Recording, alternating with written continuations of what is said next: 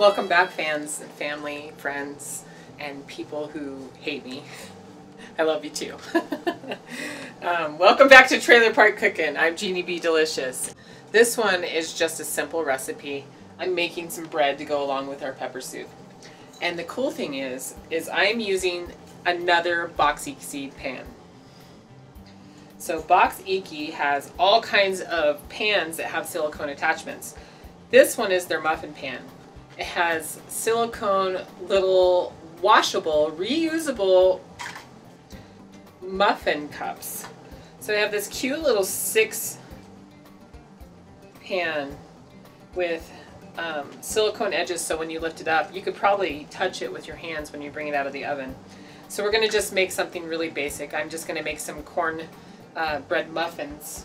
And I'm just going to put a little jalapeno on the top and maybe a couple black beans to make it look pretty. So what are we going to need for this recipe? Well, the cheapest bread recipes out there, other than making your own cornbread, is Jiffy's Corn Muffin Mix. It requires just an egg and um, some milk. We got some egg, and we got milk, and it only calls for a third of a cup of milk. Um, I'm using powdered milk that's been reconstituted with some water. Uh, some black beans, which I'm not going to use, but a few out of the can some jalapenos. And I got a small bowl for mixing. So we've got our Jiffy mix. It's been around for generations. I remember old, old commercials for this stuff. But it's a great go-to. I think the box boxes that they sell in the store like 89 cents or they're like less than a dollar. So I'm just going to dump that in a bowl. and it still has a good flavor. I mean, you can make your own, in you know, muffins by just adding this to your muffins. I mean, it's really easy to make cornbread anyway. It's like equal parts. So then I'm just going to dump the milk in. I'm going to crack the egg. Stir it up until it's all together. Yay! It's all stirred. Overmixing is the key to not to having hard muffins. So if you don't want to have hard muffins, don't overmix it. And then I'm just going to dollop that in here. You don't even need to have um, stick stuff in here because of this silicone. They're, they're just naturally non-stick pans. So I'm just going to evenly scoop this into each one of my little muffin holders here. One jalapeno per muffin. Oh, isn't that just cute? And I love my jalapenos. Mm. Those are spicy ones too. Ooh. And then I'm going to open my little black beans. And I'm just going to take a couple beans out and just place a couple on top. I've got my oven set to 400 degrees and I'm going to let it warm up a little bit. Fitz likes beans too. Beans, beans, the more you eat. what is that? Beans, beans, they make you do, or how does that go? Can you remember?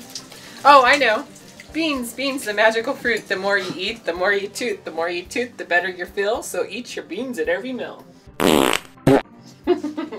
All right, look at that. All right, I'm just gonna stick that in the oven and let it cook until it's done. Now the muffin mix says that it cooks for about 400 degrees, 15 to 20 minutes, if I could read right. Wow, that was a good choice to put some jalapeno in my beer. So our corn muffins are done.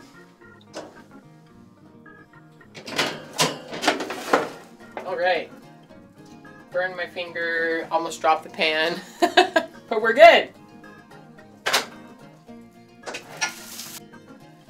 Alright, look at our beautiful muffins. Jiffy Puff muffins. Like I said, we were making these for our pepper soup, which we tried in a previous video. You can go back to our YouTube channel and search for our peppered soup. Um, these are the coolest pans ever, these Box key pans. Heard a rumor that they might be doing another giveaway. Um, so, remember the gift-a-thon that Boxiki was doing? Um, we were using Box Iki pans and another thing, and we gave you a, an email address to, well, a link so that you can go and apply for winning that. So we had a winner. Her name is Arlene Lassiter. It's so awesome that she won. Uh, they wanted me to announce to all my subscribers that Arlene, you're the big winner of the boxy Iki pans. You should be getting them in the mail.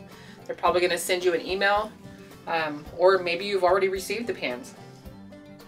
Boxiki, these little cute muffin tins with the little connected thing. Anyway, I made these just to go along with um, my soup. Super easy to get out. Look at that. Isn't that amazing? Like whoever has muffins, little tiny cute muffins, come out of these little silicone wrappers that are super easy to wash. And I'm just gonna cut it in half and add a little butter hot bread. I think that's another recipe I need to do is my homemade um, cinnamon rolls. Mmm. That is good. Mmm.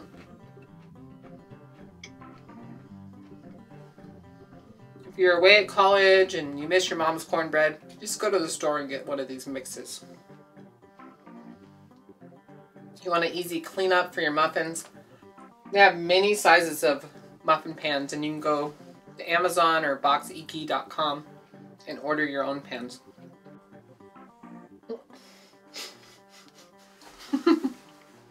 I love cornbread, cornbread muffins, and you can look at my other recipes of cornbread waffles, southwestern style. There's so many ways to make cornbread. This is just one of them. Join me next time for another great recipe. I'm Genie B. Delishus. Bye, y'all.